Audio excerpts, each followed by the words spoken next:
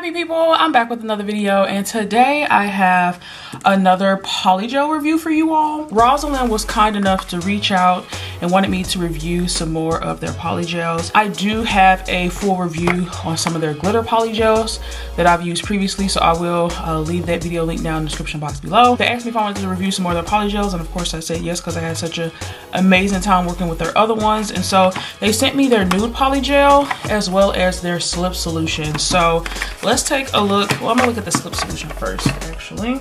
All right, so yeah, let's see. Oh, that's nice. Okay, well, it comes with a dapping dish.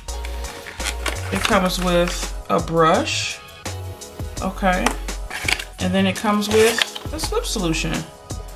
Well, that's pretty nice. I wasn't expecting all of that to come in there. Okay, so essentially they say it's an odorless slip solution that prevents the brush from sticking to the polygel. So that is pretty cool. So you get uh, 120 ml, which is four fluid ounces. So that's a pretty big, that's a pretty big bottle of uh, slip solution there. So let's see if the odorless claim is true. It is odorless. It doesn't smell like anything, so that's nice. Um, I am going to go ahead and just use the dapping dish that it came with also going to use the brush that it came with. That's really nice that they provided a brush for it. And the brush seems really nice and firm, so that's pretty nice, okay. And so, yeah, let me go ahead and uh, swatch this nude polygel. You all know one thing that I really enjoy about their polygels is that it come in a 60 ml bottle. So it's actually two fluid ounces, which is like really huge. Most polygels only come with 30 ml. So I love the big tube that you get of it. So let's see what this color is looking like. Alrighty, so I'm gonna go ahead and swatch this beautiful nude color here. Okay, like so.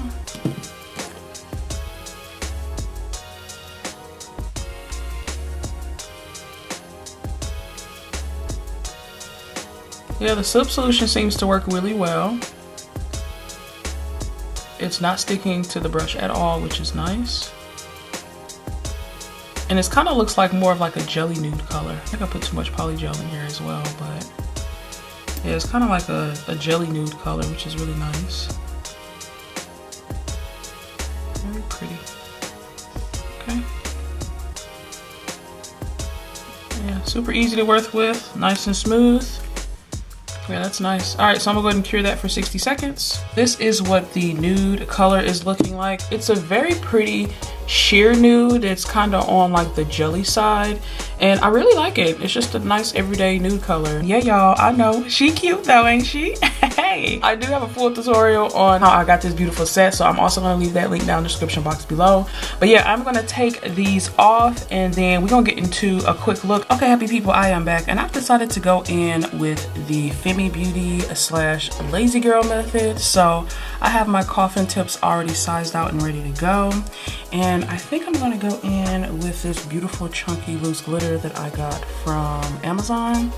And I think I just wanna do like some glitter tip ombre of nails.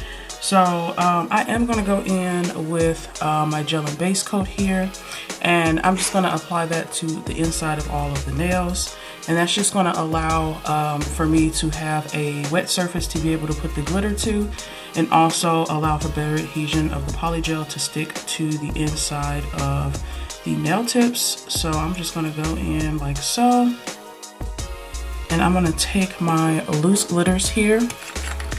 And I love that these are just like really nice chunky glitters. Dotting tool pen here, I'm just gonna dab into the wet base coat.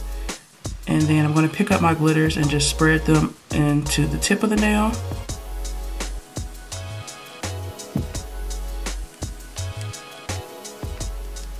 So when working with the chunky glitters, I found that it's easiest to just pick up one glitter at a time or one chunk of glitter at a time and then just place it exactly where you want it to be um, on the inside of the full cover tip. That wet base coat is going to help you be able to slide the um, glitter around. And you also want to make sure that you flip the nail around and just check for where the glitters are placed just to make sure it's exactly where you want it to be. And I'm going in with my Gooseneck lamp to flash cure all of the glitters into place. It's really important when you're flash curing the glitters and in place to use your tool to help press the glitters down into that wet base coat so that um, there aren't any air bubbles um, in between the actual glitter and the tip itself. That looks good to me. So I'm gonna go ahead and repeat that process actually on all of the nails. So I actually forgot how much I enjoyed using the Lazy Girl method when I'm doing polygel nails. On my channel, I have tried to sculpt my nail with polygel a few different times and each time I've done it my nails have come out super thick and so I definitely still need to practice that technique more but yeah my go-to when I'm doing polygel nails is definitely doing this lazy girl method. It's just so easy to do um, in total to add the glitter to the inside of all of these nails with the base coat. That only took about six minutes and then even just to spread that polygel out which you all will see soon um, on the inside of the nail I think that only took me like another like five ten minutes. So I can do a full set including prep in like 45 minutes doing the lazy girl method which is really nice and why I enjoy doing it. Now I'm going in with my Mehron Peel Off base coat. You all know this is my favorite peel off base coat. Um, I did not prep my nails at all because I do plan on popping these off within like a day or two. And after the peel off is applied, I'll cure for 60 seconds. Now I'm gonna go in with the Rosalind Slip Solution. And then I'm also gonna use the little brush that came with the kit just to see how that performs. And then I'm gonna go in with my nude polygel. Uh oh Ooh, that seems kind of loose.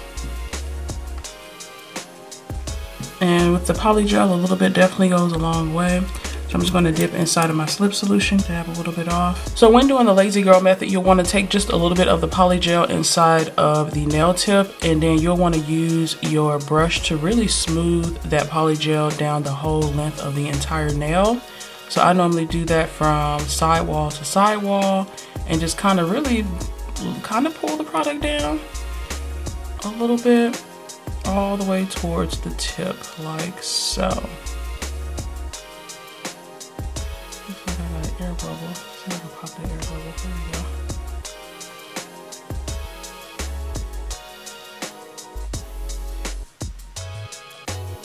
That looks perfect. Now with the Femi Beauty Lazy Girl method, a little bit definitely goes a long way. So just bring it all the way down here like so.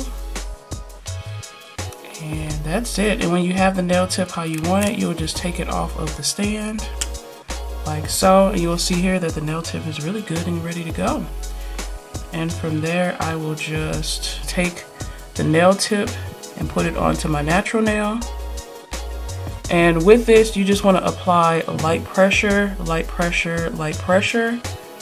And once you have it where you want it to where you want it to be, you can come underneath the nail and smooth it out and or remove any excess product. So I'm just gonna be smoothing it out here like so.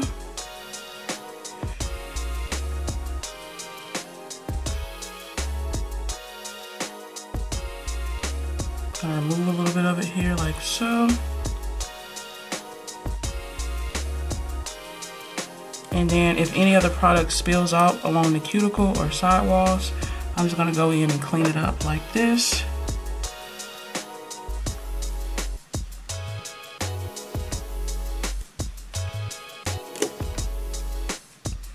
and that looks good to me so I'm gonna go ahead and cure for 60 seconds. So this is how the nail is looking thus far. Next I'm gonna go in with my middle finger and repeat that same process. Again you'll just want to take a little bit of the polygel at the cuticle area and this should be enough for the entire nail you want to take a little bit of the slip solution on the brush and really just kind of pat that gel all the way down the length of the entire nail. Like so. I actually probably added too much product here. But a little bit definitely goes a long way. Okay, happy people. So when doing the Lazy Girl method, you just really need a thin layer of the polygel inside of the full cover tip. And if at any point you do have too much product, all you need to do is take some out and then wipe it away. Um, that way um, it's, it's not too thick underneath the nail. Okay, and then what you can do too is as you're doing that, you can flip the nail over to check and see if the glitter and everything is where you want it to be. That's looking good to me. So I'm gonna go ahead and take this off. And then you'll want to just apply it to your natural nail like so, going in at the cuticle and then slowly pressing down, light pressure, light pressure, light pressure.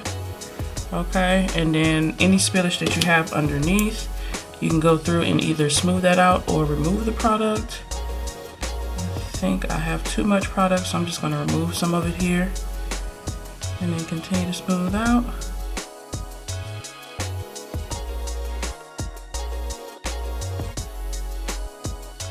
And then on the front, you do light pressure, light pressure, light pressure.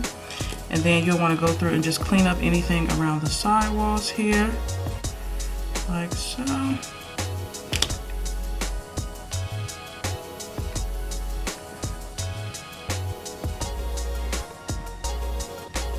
That's what the first two nails are looking like. I am going to go through and repeat the process on the rest of my fingers and I'll be right back. So this is what the nails look like after I have applied each of my tips using the Lazy Girl method.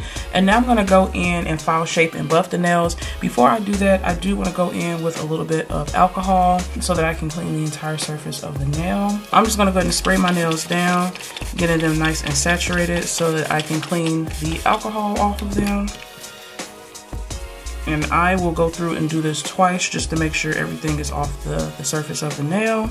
And you want to make sure you do this so that you don't end up accidentally clogging or messing up your nail drill with the sticky inhibition layer.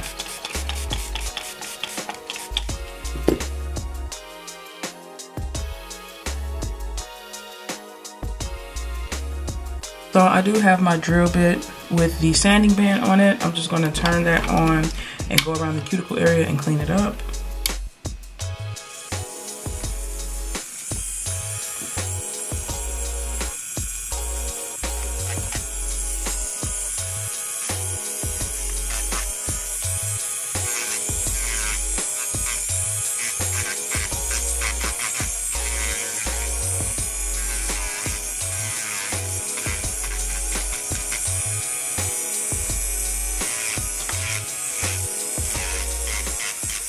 When going around your cuticle and sidewalls to clean up the um, polygel that have spilled out, you want to be very careful so that you don't nick yourself. That has happened to me in the past. Um, so just make sure you take your time when you're going around and cleaning up that area. Now I'm just going in with my Young Nails file and crispening the shape of the nail. And then I'm also going to be buffing the surface to prepare it for top coat.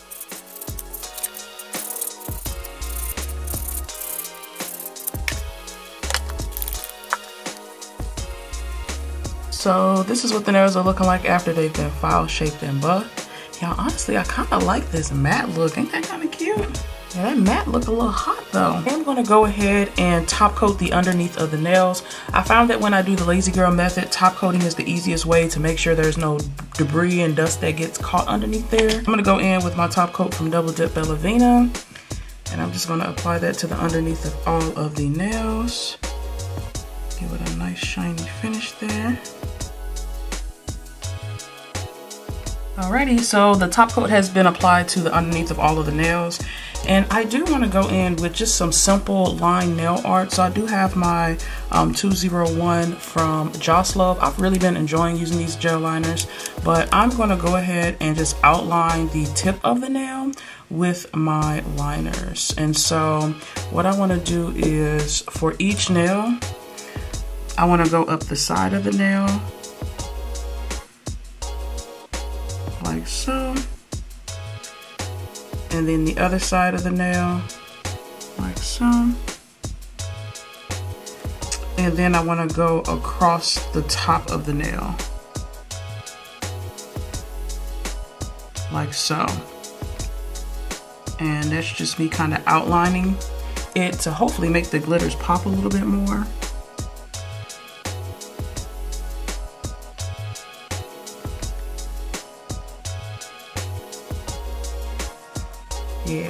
So I'm gonna go ahead and flash cure this in place and then repeat that process on all the nails.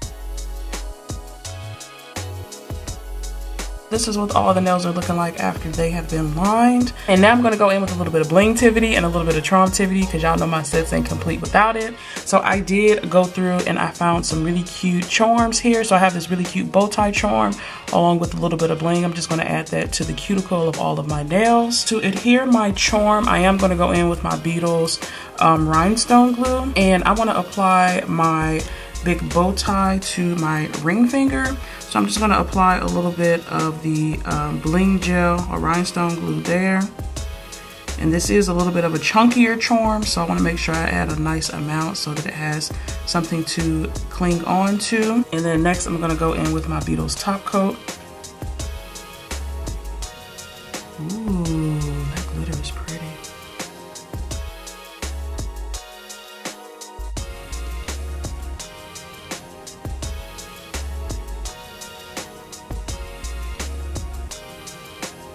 Perfect. I'm gonna cure for 60 seconds. Woohoo, she is cute. Okay, so now I'm gonna go in and top coat the rest of my nails and then I'm gonna add that cuticle bling into the top coat.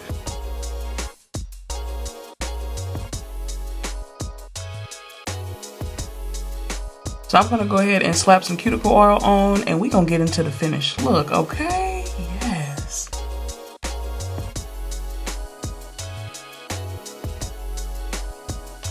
All right, you guys.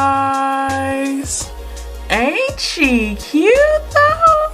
Yes, I am absolutely loving how she turned out. This is a really cute, simple nude with the glitter ombre French tip and a little bit of outlining to make it pop just a little bit, okay? So yes, I'm absolutely loving how this set turned out. It's really cute, really dainty, really pretty, and that little charm is everything, okay y'all? So my final thoughts on the Rosalind um, Nude Poly Gel Slip Solution. I do think that the slip solution works really well with the actual Rosalind Poly Gel itself. This nude color from Rosalind Is a little bit on the softer side. I didn't have too hard of a time working with this simply because I did the lazy girl method, but I do think that if I tried to sculpt my nails with this polygel, I'd have a hard time. But overall, I think these two products work really, really good together. So yeah, y'all, my only gripe I have about this set is that I actually applied my ring finger crooked. Y'all see how that mug is just leaning, leaning all the way to the left, okay? But the set still turned out super cute. So yeah, let me know what y'all think about my mani down in the comments below. I did on this hand do the lazy girl method using acrylic. So if y'all are interested to see how I did that, I will leave that down in the description box. So yeah, I hope y'all enjoyed the video. I do upload every Tuesday, Thursday, and Saturday. Thursdays in particular are my Nail Therapy Thursday premieres where I tune in live with you all as you watch me do my nails. And if you all like what you saw here, definitely stick around, join the happy family. I'd love to have you. And as always, you guys, leave some love in the comments down below and I'll see you in my next video. I hope y'all have a wonderful, awesome, spectacular day. Bye!